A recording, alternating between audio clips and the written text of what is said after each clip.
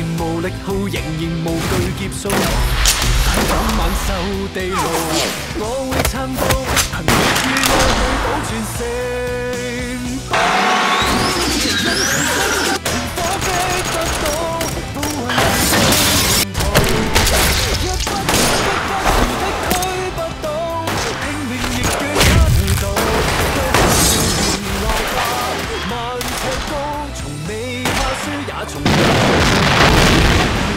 闭着眼是我无悔的程度，用尽全力竞争。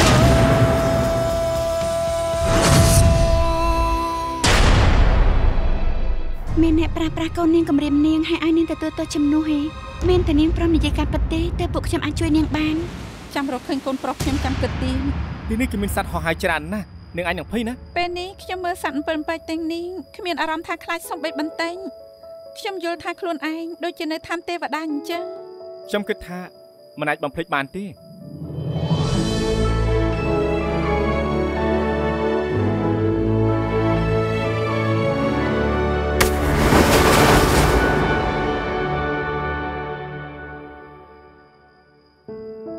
លោកមិនស្រឡាញ់ខ្ញុំមែនទេបើលោកគ្មានអារម្មណ៍ចំពោះខ្ញុំ ហេតុអីក៏មករកខ្ញុំទាំងយប់បែបនេះ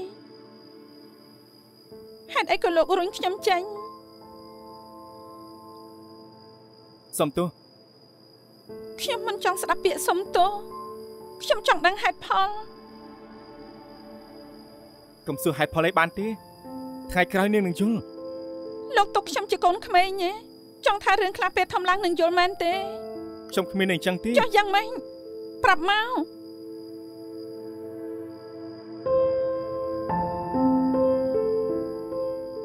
ហើយចុះខ្ញុំអាម៉ាស់ឆ្អែតហើយថ្ងៃក្រោយលោកមិនបាច់ពិបាកទៀតទេ លោកសោះក៏ក្របបន្តចុះ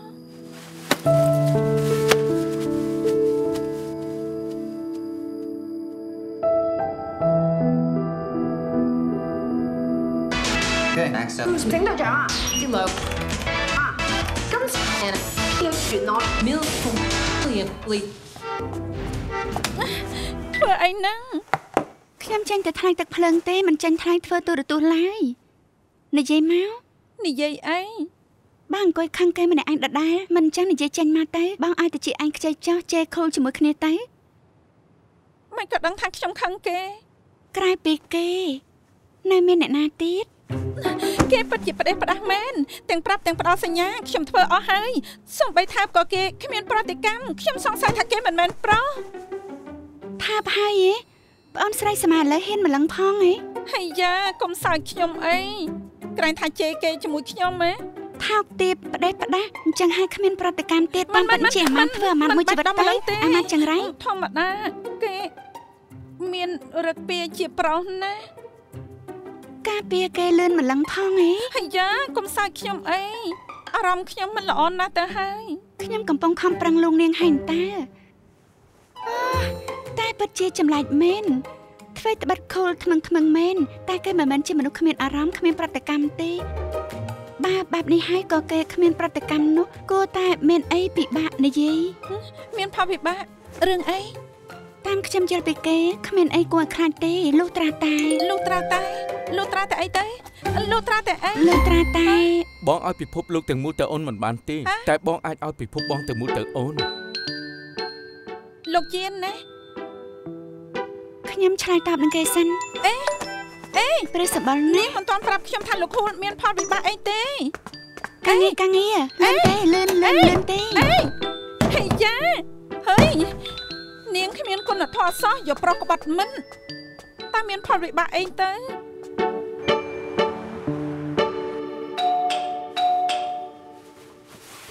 សួស្តីមិនក៏មកអញ្ចឹងបងផ្ដល់ភាពភ្ញាក់ផ្អើលដល់អូនណា យប់នេះមិនចាំបាច់ធ្វើម្ហូបទេបាយរួចញ៉ាំបង្អែម strawberry បងតម្រង់ជួរយូរណាស់ទើបទិញបានវ៉ាវល្អដល់ម្លឹងហ៎ប្រកាសហើយអើជប់សិនមើលទៅអូនដូចជាហត់នឿយខ្លាំងណាស់ខ្ញុំរវល់ពេញមួយថ្ងៃត្រៀបតុកសិនមិនចាំបាច់ទេយប់នេះអូនចាំទៅហូបទៅបានហើយរឿងផ្សេងទុកឲ្យបងរ៉ាប់រងចុះទៅលាងដៃសិនទៅ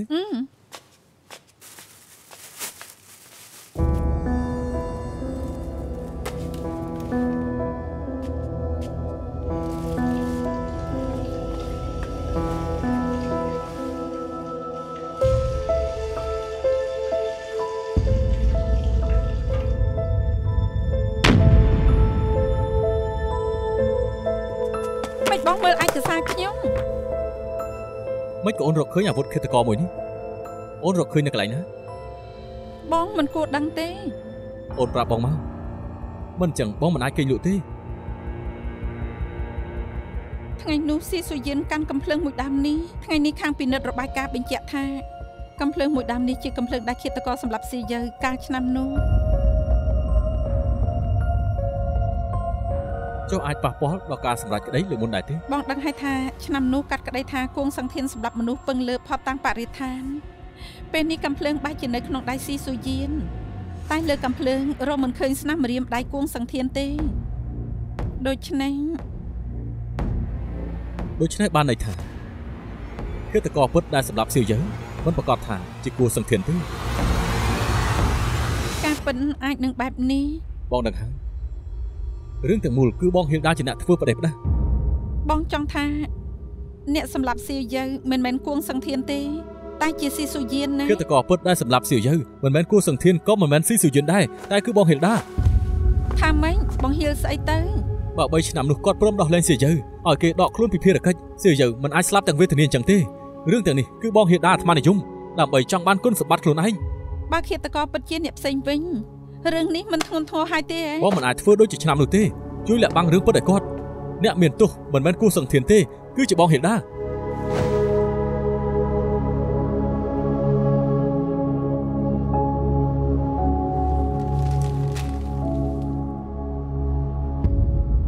សៀវយើ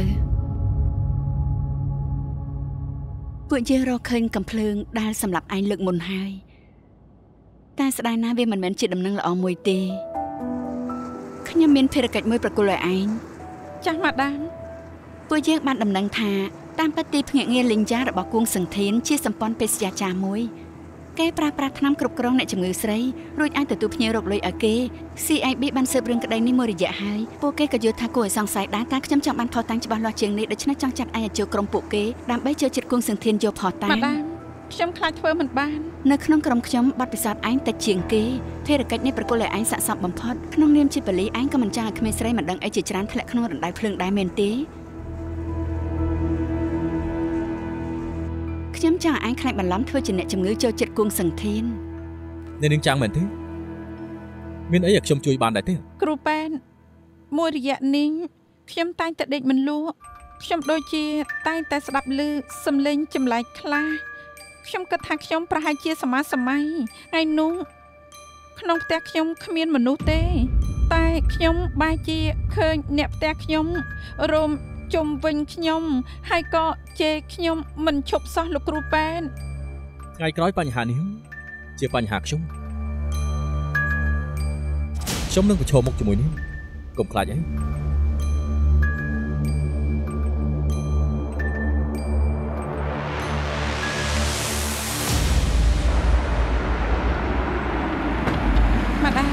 ខ្ញុំចូលរួមទីភ្នាក់ងារលេងយ៉ាជិតមួយខែហើយថ្ងៃនេះពេលជួបជុំគ្នាប្រធានហាន់លេងអ៊ីស្រាប់តែនាំក្មេងស្រីម្នាក់ទៅខ្ញុំឃើញហាន់លេងអ៊ីចូលសន្តាគារជាមួយធัวសៀមី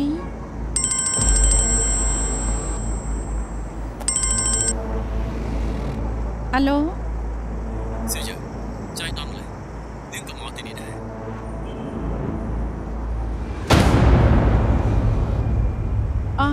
គ្រូប៉ែតគួងអឺត្រូវហើយខ្ញុំមកលេងមិត្តភ័ក្តិគេធ្វើការនៅក្បែរនេះ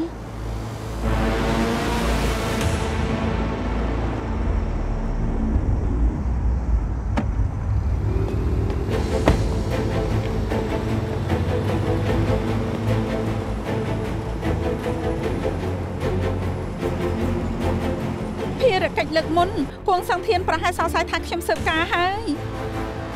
ខ្ញុំពិតជាខ្លាចថាគ្មានជីវិតចាំដល់ថ្ងៃដែលម៉ាដាមចាប់គេបានណាមិនអញ្ចឹងឯងឆាប់រកផុសតាំងល្មើសច្បាប់ឲ្យគេឃើញទៅពេលចាប់គេបានឯងមកធ្វើប៉ូលីសវិញបានហើយម្ដងមិនទាន់សុំដឹងទីតាំងរបស់សៀវយើងទេពួកឯងសាកឆែកមើលថាឡានរបស់គូសង្ធាននៅឯណាទៅ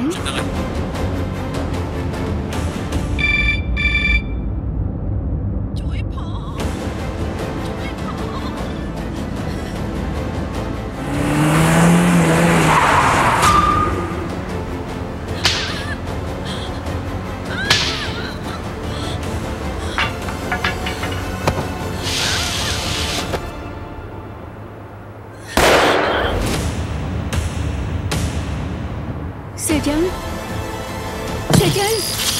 បណ្ដាំគឺប្រភេទសេវាទូរស័ព្ទស៊ីយើងទីតាំងនៅជីធានឈុនបាំងវៃឆាប់ហៅក្រុមជំនួយទៅសេយាយ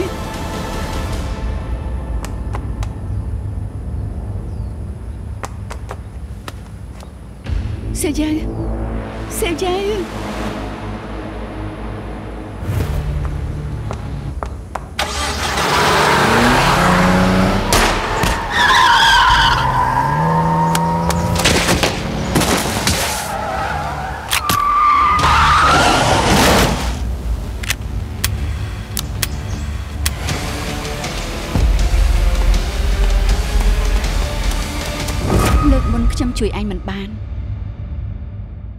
ខ្ញុំសន្យាថាលើកនេះខ្ញុំមិនអាចឲ្យគង់សង្ឃាននៅក្រៅសំណាញ់ច្បាប់ទេ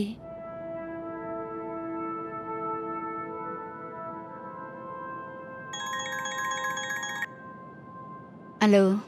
បងហៀប៉ូលីសខាងបារាំងប្រាប់ថាមិនទាន់រកឃើញកូនប្រុសស៊ីស៊ូយៀនទេអូខេច្បាប់នៅទីនេះយ៉ាងច្រើនសរសេរបាន4ទំព័រក្រដាស់មិនគ្រប់ហៅខ្ញុំបានអរគុណម៉ាដាម សមាជិកភាពខ្ញុំពេលនេះគឺស៊ីស៊ូយៀនតែឈ្មោះពិតគឺហាន់លីងអ៊ី8ឆ្នាំមុនខ្ញុំប្រើប្រាស់ទីភ្នាក់ងារលីងយ៉ាឬស្រីមានជំងឺមួយក្រុមបំរើផ្លូវភេទរលួយឲ្យខ្ញុំតែស្រាប់តែត្រូវជន់បង្កប់ប៉ូលីសឈ្មោះចាន់ស៊ីយើប្រទះឃើញដើម្បីបំបត្តិផតតាងកិច្ចពីទោសកំហុសខ្ញុំក៏នឹកឃើញផែនការដោះខ្លួនមុនមួយសម្រាប់ខ្លួនឯងថ្ងៃ7ខែ7កាលពី8ឆ្នាំមុនខ្ញុំលួចឡានផ្ទាល់ខ្លួនរបស់លោកគ្រូគួងសង្ធានមួយគ្រឿង ក្រោយវាយចាងសៀយើសន្លប់រួចក៏ដាក់គេចូលក្នុងគូតឡានខ្ញុំពាក់ស្រោមដៃពាក់អាវការពារតឹងមិនបន្សល់ទុកស្លាកស្នាមខ្លួនឯងនៅក្នុងឡានទេក្រោយនាំចាងសៀយើទៅដល់ឈុំវ៉ាន់វៃក៏បានវាយគេរួចក៏បាញ់សម្លាប់គេខ្ញុំគិតមិនខុសពេលនោះគួងសង្ធានក៏ខ្លាចជាខ្មោចស្លាប់ជំនួស តែពេលនេះខ្ញុំក៏ត្រូវជាប់គុកដែរទោះពិបាករត់គេញខ្ញុំធ្វើឲ្យអ្នកមិនដឹងអីចូលគង់ខ្ញុំស្ដាយណាស់រឿងជួញដូរផ្លូវភេទរបស់ភ្នាក់ងារលីងយ៉ានិងសម្រាប់ជនបង្កប់របស់ប៉ូលីសគឺខ្ញុំធ្វើទាំងអស់ផតតាំងខ្ញុំដាក់នៅក្នុងទូលេខ1030នៅកន្លែងហាត់ប្រាណ Human Fit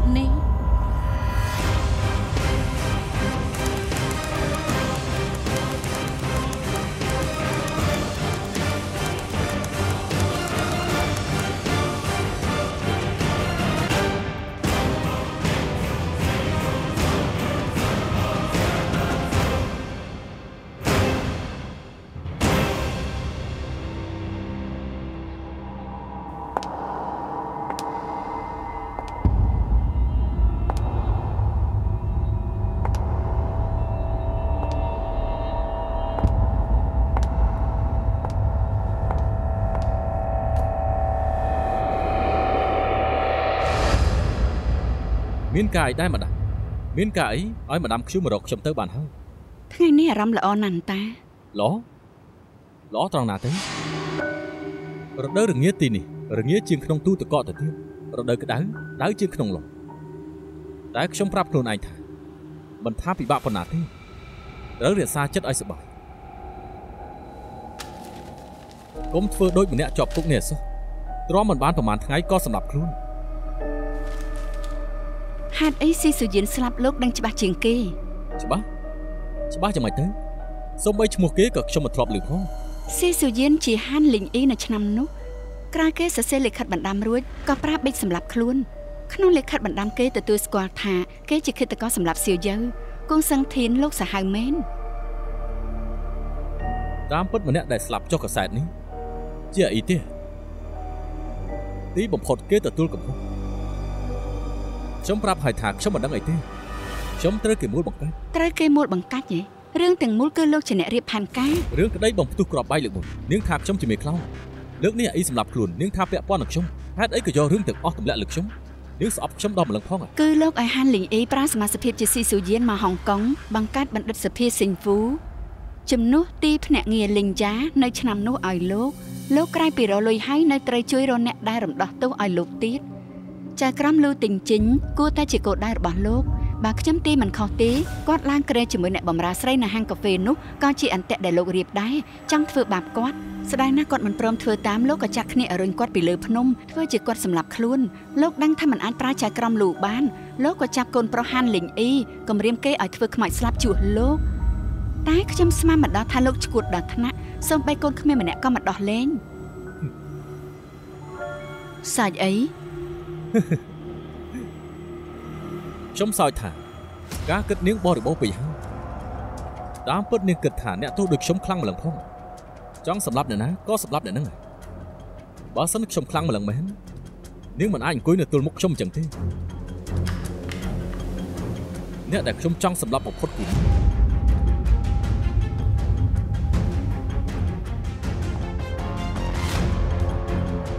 លោកគ្មានឱកាសនេះទេ ព្រោះខ្ញុំចិត្តរកផុសតាំងឃើញអញ្ចឹងឆាប់ឡើងទៅរឹកមិញមេធាវីមកជួបខ្ញុំប្រាប់ថារឿងក្តីមានផុសតាំងថ្មីគេប្រាប់ថានឹងជួយរៀបចំការប្តឹងឲ្យខ្ញុំថាមិនត្រូវពួកយើងជួបគ្នាលើក្រៅតែมันអាចមានកញ្ចក់នេះទាំងគ្នា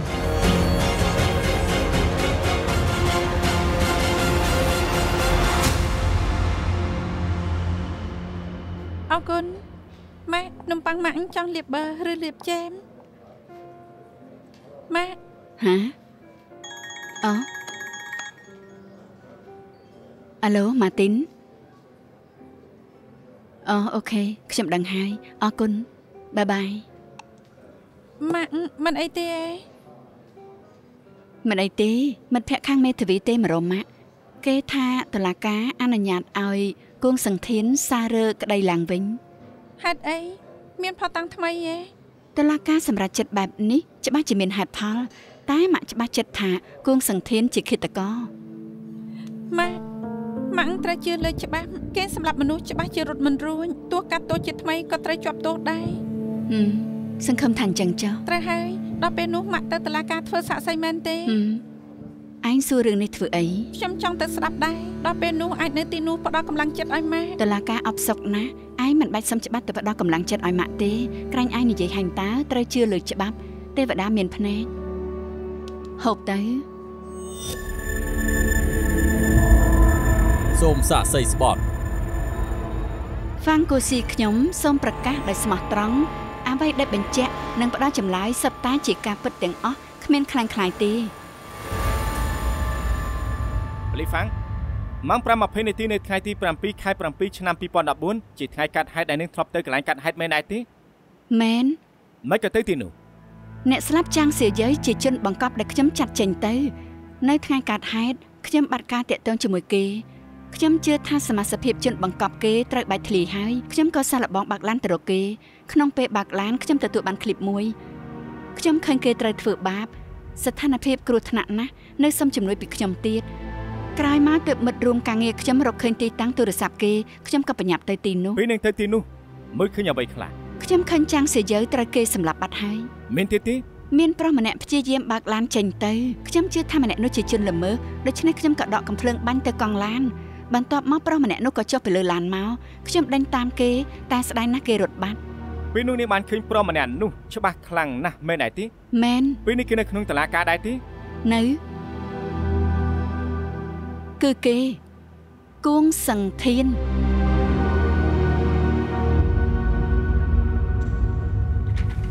សាស័យ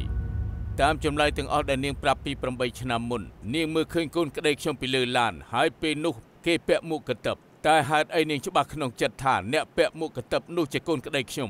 ពេលនោះគួងសង្ធានជាគោលដៅក្នុងរឿងក្តីដែលខ្ញុំសើបរូបថតគេខ្ញុំបានមើលច្រើនលើកណាស់បូកថែមទាំងពេលនោះខ្ញុំនៅឃ្លាតពីគេមិនឆ្ងាយទៀតមិនឆ្ងាយហ៎អញ្ចឹងចម្ងាយប្រមាណទៅ ប្រហែល15ម៉ែត្រទៅ20ម៉ែត្រ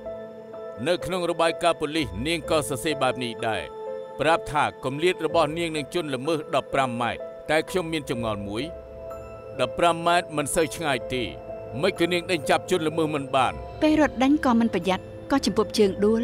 ខ្ញុំដួលនៅលើដីពេលនោះកំភ្លើងខ្ញុំអស់គ្រាប់ទៀតទើបគេរត់បាត់ទៅ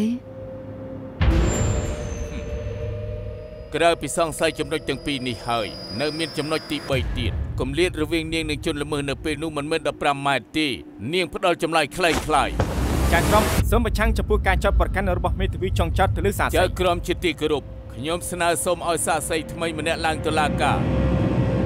លោកឈិនហៅពីងតាមឯកសារកាលពី8ឆ្នាំមុនលោកធ្លាប់នៅក្នុងក្រុម B នៃក្រុមក្តីកម្រិតធ្ងន់ពេលនោះលោកនៅជាកូនចៅរបស់ប៉ូលីសហ្វាងគូស៊ីមែនទីមែន នៅថ្ងៃកើតហេតុលោកបានទៅទីតាំងកើតហេតុទីបាទហេតុអីក៏លោកទៅទីនោះថ្ងៃនោះមានគ្នាយើងម្នាក់បាត់ខ្លួនខ្ញុំទទួលបញ្ជាទៅឆែកឆេរផ្ទះគង់សង្ធានតែនៅតាមផ្លូវខ្ញុំទទួលបានបញ្ជារបស់ម្ដាមហ្វាងប្រាប់ថាមិត្តរួមការងារខ្ញុំម្នាក់ជាអ្នកស្លាប់នៅក្នុងរឿងប្តីនេះទីតាំងនៅជីងធានឈុនវាងវៃ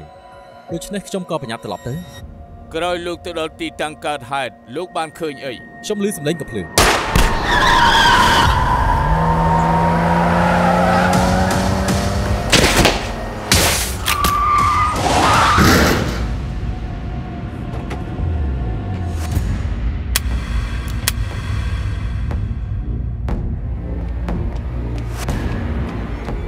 ម្ដាម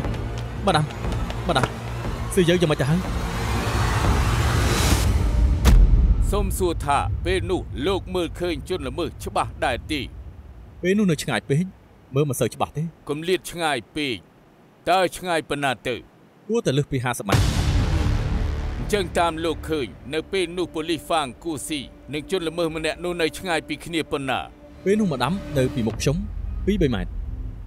គម្លាតរវាងគាត់និងជនល្មើស មិនអាចតែជាង50ម៉ែត្រទេស្ងប់ស្ងាត់ច្បាស់ក្នុងចិត្តហើយការហែលទឹកជាភាពខ្លាំងខ្ញុំខ្ញុំជឿថាគម្លាតពួកគេមិនអាចខ្លីជាងអាងទឹកស្តង់ដារនោះទេ តែចម្លើយដែលលោកប្រាប់នៅពេលនោះហេតុអីមិនបានលើករឿងនេះឡើងមកនិយាយខ្ញុំមើលចម្លើយឯងហើយឯងថាឯងមិនឃើញមុខមាត់ជនល្មើសទេខ្ញុំគ្រាន់តែនិយាយ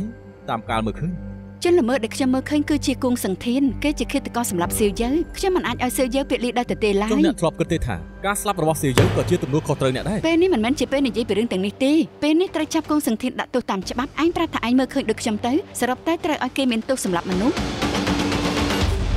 លោកចង់បានន័យថានៅពេលនោះហ្វាងគូស៊ីប្រាប់លោកឲ្យបដូរចម្លើយតាមគេដូច្នេះលោកមិននិយាយការពិតដែលលោកឃើញទេពេលនោះខ្ញុំគិតថាគួងសង្ធានជាឃាតករសម្រាប់សៀយើង ដូច្នេះខ្ញុំក៏ជ្រើសរើសស្ដាប់តាមបញ្ជាថ្នាក់លើកែប្រែចម្លើយសូមស្ងាត់ចៅក្រមជាទីគោរពខ្ញុំស្នើឲ្យហ្វាងគូស៊ីធ្វើសាកសីម្ដងទៀតអនុញ្ញាត50ម៉ែត្រនេះបានន័យថាម៉េចទៅបើនិយាយឲ្យស្រួលគឺស្មើនឹង4ដងនៃតុលាការនេះដូច្នេះខ្ញុំមានហេតុផលសង្ស័យថានាងមិនបានឃើញច្បាស់ទេថាជនល្មើសដែលពាក់មួកកតិបនោះជាប្រុសឬជាស្រីត្រូវទេមិនត្រូវទេ ពេលនោះខ្ញុំឃើញគួងសង្ធានរត់ចេញពីឡានដោយផ្ទាល់ភ្នែកអ្នកនៅក្នុងឃ្លីបដែលខ្ញុំប្រាប់លើកមុនគឺជាគេឃ្លីបដែលនាងនិយាយតាំងពីដើមដល់ចប់មានតែនាងម្នាក់ទេដែលមើលឃើញពេលនោះស្ថានភាពបន្ទាន់ខ្ញុំមិនបានថត់ទុកតាន់ពេល អ្នកទាំងអស់គ្នា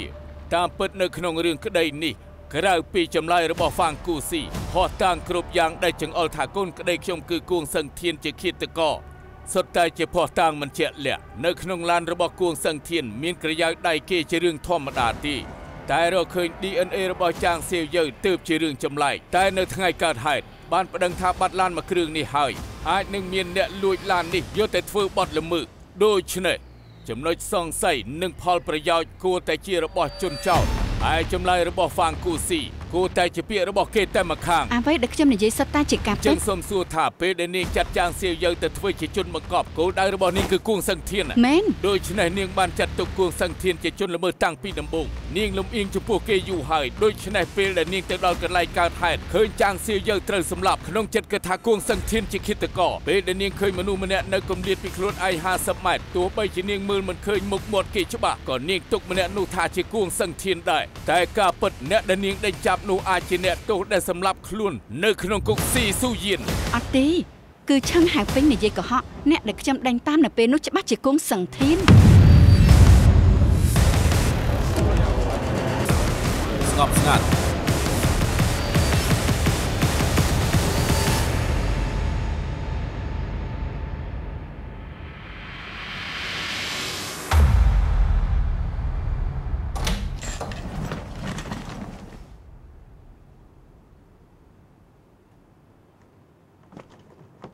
ម៉ែ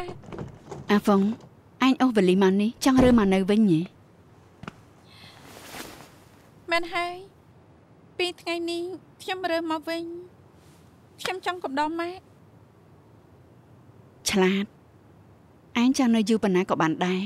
តែពេលនេះម៉ាក់ចង់នៅស្ងប់ស្ងាត់ម្នាក់ឯង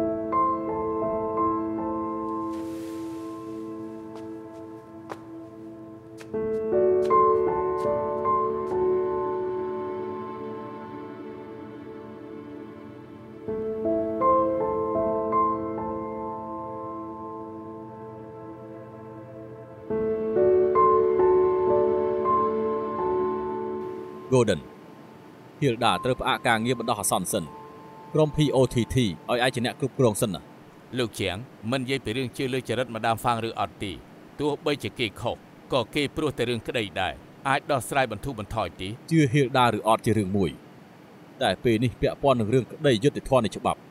ដើម្បីកុំឲ្យគ្រប់គ្នាយល់ច្រឡំលើពួកយើងរឹតតែត្រូវធ្វើតាមការងារទៀតក្នុងរឿងនេះខ្ញុំយល់ថាមានចំណុចសង្ស័យច្រើនចម្លើយមនុស្សម្នាក់អាចផ្លាស់ប្ដូរនៅរឿងរ៉ាវទាំងមូល ខ្ញុំក៏ជឿថា Hilda ជាប៉ូលីសល្អម្នាក់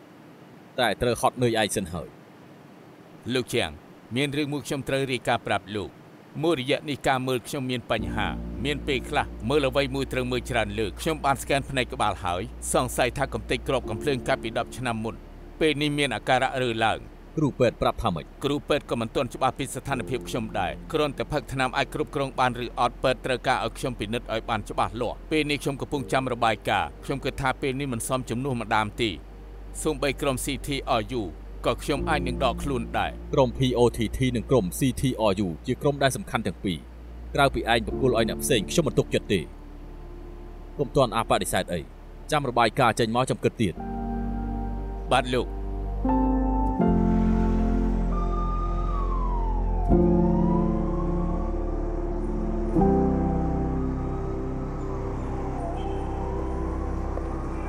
ម្ដាមដឹងថាខ្ញុំហៅឯងមកធ្វើអីទេអ្នកម្នេះទេខ្ញុំគិតថាខ្ញុំមកស្នាក់ការច្រើនឆ្នាំហើយទើបអង្គុយតំណែងនេះបានតាមពិតធ្លាក់ចុះមកវិញត្រូវការពេលតែប្រហែលថ្ងៃប៉ុណ្ណោះដូច្នេះទើបថាមានរឿងខ្លះពិតជាស្មានមិនដល់មែនម្ដាមខ្ញុំជឿអ្នកអ្នកធ្វើការយុត្តិធម៌ឡាត់ឡន់អ្នកមិនអាចមូលបង្កាច់គូសង្ធានបានទេអរគុណខូល ខ្ញុំហៅឯងចេញមកមិនមែនដើម្បីឲ្យឯងសរសើរខ្ញុំទេ តាមពិតខ្ញុំចង់ខ្ញុំនឹងមើលថែអាហ្វុង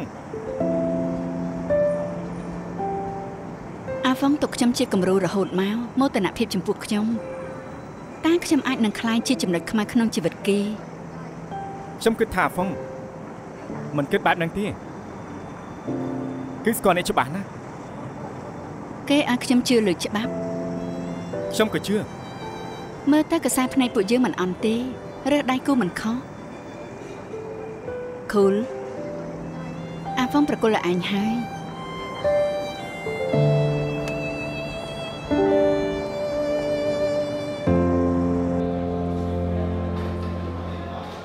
អេប៉ាប៉ាក្រែងខ្ញុំមកនឹងជួយណាត់អាហ្វុងនេះឯណាគីខ្ញុំណាត់ហើយគេអត់មកឬអត់ខ្ញុំធ្វើអីមិនបានទេមិនមែនទីដឹងណែ ធ្វើមែនដាកមិនគិតទាំងរឿងកាត់កូនទេចង់ណាត់គេក៏គួរតែទៅណាត់ខ្ញុំជួយណាត់ឲ្យល្អណាស់ទៅហើយខ្ញុំក៏ដឹងដែរតែគេមិនខ្វល់ពីខ្ញុំអ្នកសារទៅគេមើលមិនឆ្លើយមើលមុខគ្នាទុកខ្ញុំជាខ្យល់មិនចឹងខ្ញុំមកនឹងជួយធ្វើអីទៅអញ្ចឹងពិចារណាមើលទៅថាហេតុអីធ្វើឲ្យគេខឹងអត់ទេមានឯណាខ្ញុំខ្លាចគេពិបាកចិត្តព្រោះតែរឿងម៉ាដាមខ្ញុំមិនចង់រំខានគេប៉ុណ្ណោះឯង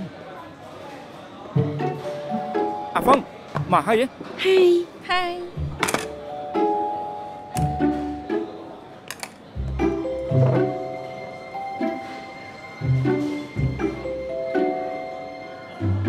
អើត្រាហាហ្វុង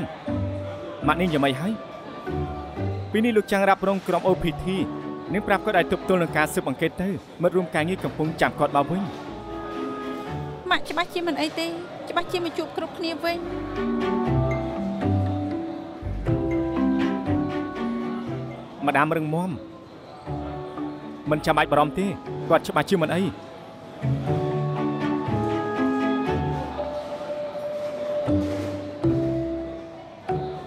ត្រាហើយ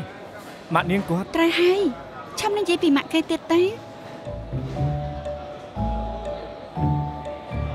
អខ្ញុំខ្ញុំខ្ញុំខ្ញុំមិនឃ្លានទេ ឈប់ហូបហើយចាំនិយាយគ្នាទៀតណែលោកមិនតាមគេមែននេះគឺធ្វើអញ្ចឹងឯងទុកខ្ញុំជាខ្យល់អ្នកមានបញ្ហាគឺលោកទេដឹងលោកបារម្ភពីម៉ាក់គេរហូតធ្វើស្អីបារម្ភពីគេបន្តិចទៅអញ្ចឹងបានជាគេខកចិត្តលើលោកយ៉ាងនេះអញ្ចឹងធ្វើយ៉ាងម៉េច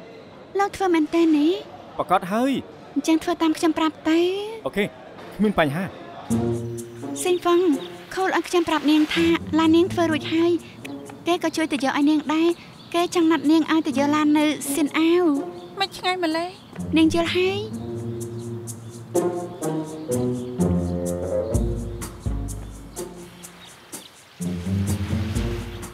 មិនកណាត់ខ្ញុំមកយកឡាននៅឆ្ងាយយ៉ាងនេះនាងមិនជួយថាទេវសភាពស្អាតទេអីបើសិនជាពុយជើងទៅកោះឋានសួគ៌មើលថ្ងៃលិចឬតែស្អាត អាហ្វុងនាងទៅណាឡានយកបានហើយឬត្រូវនៅទីនេះដល់យប់អត់ទេខ្ញុំមានការនិយាយជាមួយនាងណែអាហ្វុងកុំតន់ធ្វើអីអាហ្វុងនាងទៅណាជប់ឡានសិនទៅអាហ្វុងអាហ្វុងខ្ញុំមានការចូលនិយាយជាមួយនាង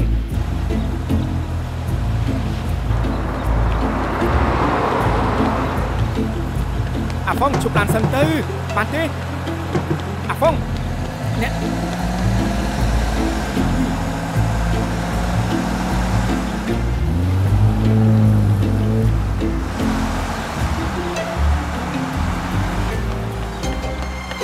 អាហ្វុង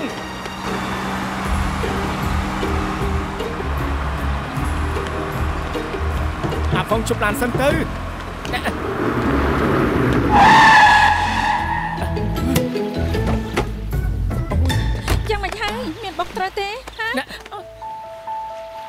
ធ្វើអីហ្នឹងលែងខ្ញុំលែងខ្ញុំទៅសុំទោសឲ្យនាងចាំយូរហើយលោកធ្វើមែនតើណាច្បាស់ជាមែនទេ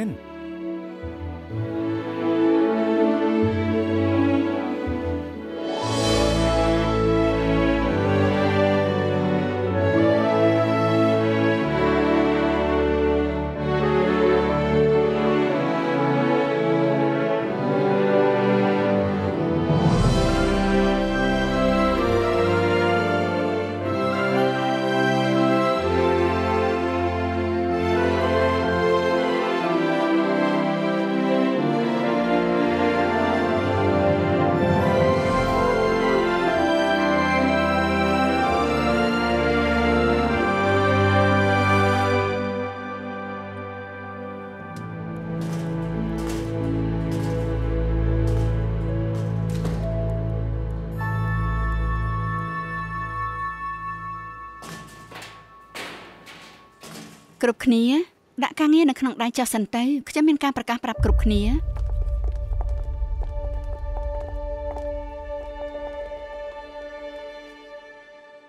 ចាប់ពីពេលនេះទៅខ្ញុំផ្អាកជាប្រធានពួកឯងបណ្ដោះអាសន្នលោកចាងនឹងមករ៉ាប់រងនៅទីនេះជំនួសខ្ញុំ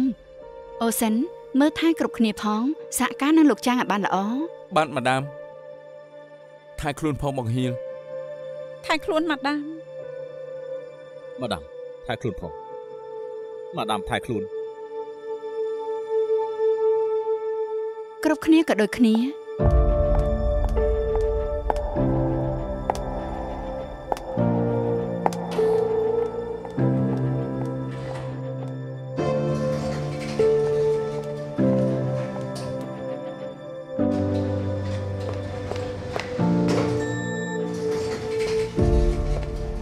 ខ្ញុំទៅទិញកាហ្វេ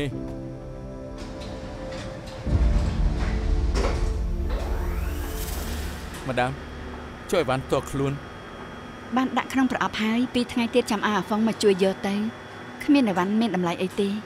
បន្តិចទៀតខ្ញុំចេញពីធ្វើការខ្ញុំអាចជួយយកឲ្យបានព្រោះស្របផ្លូវគ្នាអញ្ចឹងរំខានឯងហើយមិនអីទេក្រៅពីការងារហត់នឿយហើយខ្ញុំនៅអាចជួយរឿងជាច្រើនទៀត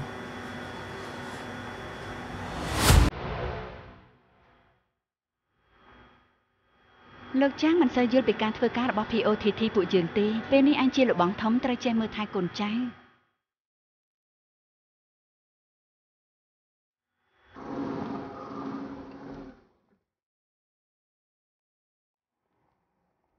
ម៉ាដាមលោក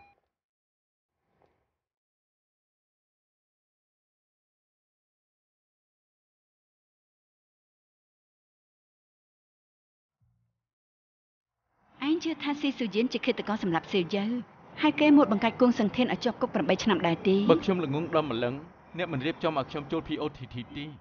រឿងនេះគឺគួងសង្ធានបង្ខំឲ្យស៊ីស៊ូយៀនធ្វើខ្មោចស្លាប់ជំនួសគេច្បាស់ណាស់តែគេកំពុងជាប់គុកមិននឹងអាចធ្វើរឿងបានច្រើនម្លឹងទៅច្បាស់ជាមានអ្នកជួយគេម្យ៉ាងម្នាក់នេះដឹងពីការងារផ្ទៃក្នុងពួកយើងច្បាស់គេរៀបចំទស្សនវិជ្ជាដ៏ល្អឥតខ្ចោះធ្វើឲ្យស៊ីស៊ូយៀនយកបានកំភ្លើងឃាតករដែលសម្រាប់ចាំងស៊ីយើងហើយត្រូវពួកយើងចាប់បានដោយចាប់បានទាំងអាវុធទាំងមនុស្ស អ្វីតែបាត់ខ្ញុំគ្មានផោះតាំងតែខ្ញុំគិតថា ក្នុងជួរប៉ូលីសមានជនបង្កប់ឬមួយជាបែនខ្ញុំមិនថាគេមិនមែនទេតែគេដើម្បីប្រឆាំងនឹងខ្ញុំទើបជួយគង់សង្ធានតែបើសិនគង់សង្ធានពិតជាមានទោសមែនអាបែនមិនអាចដោះលែងគេទេនេះជាដល់សង្ស័យខ្ញុំសង្ស័យអ្នកដែលនៅក្បែរខ្លួនពួកយើងវិញទេតែនេះគ្រាន់តែជាការទីរបស់ខ្ញុំ ជាការពិតឬអត់ត្រូវពឹងលើឯងទៅស៊ើប ខ្ញុំដឹងថាគួរធ្វើយ៉ាងម៉េចហើយ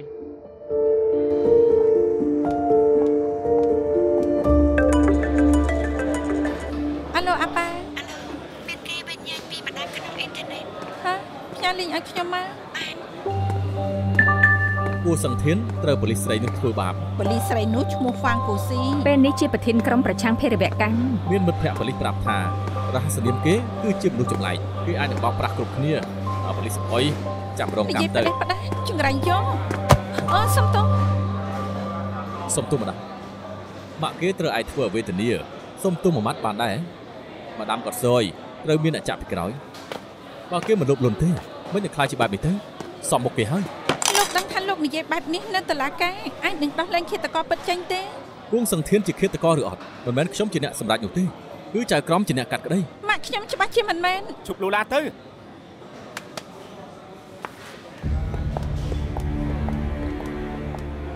ខ្ញុំមកប្រាប់ហើយក្រុមតែមួយត្រូវតែសាមគ្គីគ្នាមិនអាចព្រោះតែបញ្ហាផ្ទាល់ខ្លួនធ្វើឲ្យប៉ះពាល់ដល់ក្រុមទាំងមូលបាននោះទេសុំទោសលោកលោកគ្រូខ្ញុំស្នើសុំផ្ទេរតំណែងពេលនេះឯងត្រូវបានការងារទោះបីជាចង់ផ្ទេរក៏ចាំដល់ស៊ើបចប់មួយរយៈនេះបើគ្មានអីទេក៏មកវិញបាទលោកខ្ញុំទៅសិនចុះអូន ត្រូវការសុំច្បាប់ប្រហែលថ្ងៃរំងាប់អារម្មណ៍ដែរទេគ្មានបញ្ហាទេទៅបដូរក៏អាចសិន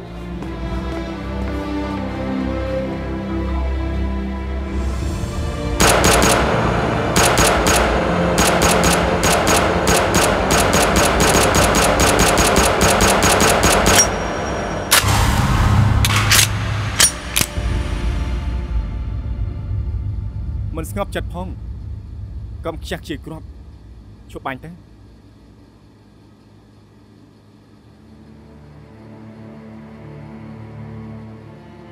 ខ្ញុំមិនយល់ទេ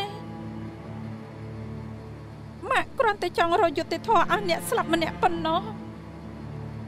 ហេតុអីក៏គ្រប់គ្នាថាឲ្យគាត់អញ្ចឹងនៃចេស្ដីគាត់តាមអ៊ីនធឺណិតទៀត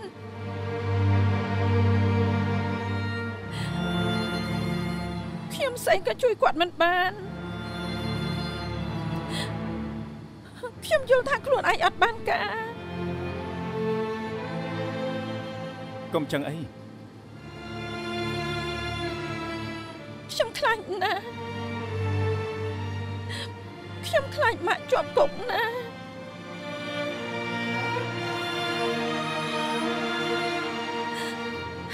គាត់មិនអាត្មានិយមទេស្អីក៏គាត់មិនបានធ្វើខុសដែរហេតុអីក៏ពួកគេអយុត្តិធម៌ចំពោះគាត់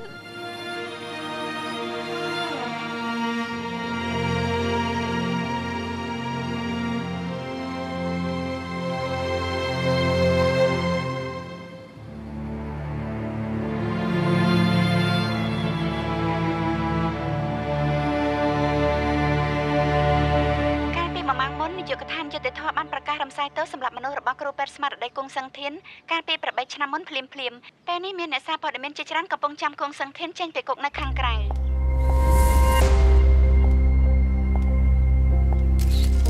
អ្នកគ្រូព្រាបប្រយ័ត្នប្រយ័ត្នប្រយ័ត្នអ្នកគ្រូពេទ្យគង់គ្រូពេទ្យគង់លោកត្រូវគេមូលបង្កាច់ជាប់គុកអស់8ឆ្នាំលោកមានអារម្មណ៍យ៉ាងម៉េចដែរទៅលោកខកចិត្តលើផ្លូវច្បាប់ណាមែនទេរឿងក្តីលោកល្បីណាស់មានពីអីនិយាយទៅកាន់ទស្សនិកជនទេ8ឆ្នាំមកនេះដូចជាយល់សពអាក្រក់ដល់វែងមួយអញ្ចឹង គ្រប់គ្នាសុទ្ធតែធ្លាប់យល់សពយល់សពច្បាស់ជាអាចភ្ញាក់ឡើងវិញថ្ងៃនេះជាថ្ងៃរកឃើញការពិតក៏អាចបញ្ជាក់នៅឃ្លាមួយថាយុទ្ធធរអាចនឹងយឺតយ៉ាវតែมันអាចបាត់បង់នោះទេចុះថ្ងៃក្រោយលោកគិតយ៉ាងម៉េចដែរទៅគឺសំណងពីរដ្ឋាភិបាលហុងកុងទេខ្ញុំចង់ទៅញ៉ាំមីអ៊ីនធុនហើយទៅផ្ទះងូតទឹកនៅឲ្យស្រួលខ្លួនបន្តិចសង្ឃឹមថាគ្រប់គ្នាទុកពេលឲ្យខ្ញុំបន្តិចចុះ ឲ្យខ្ញុំបានស្រូបខ្យល់អាកាសបរិសុទ្ធមានសេរីភាពអរគុណទាំងអស់គ្នាដែលមកទទួលខ្ញុំនៅថ្ងៃនេះអរគុណពេលពួកលេងតិចទៀតទៅម៉ាត់ទៀតទៅមានផាន់មានណាកាយទៀតទៀតទេចាប់ប្រាប់ពួកយើងតិចមកពួកពេលពួកប្រាប់មកបែបពួក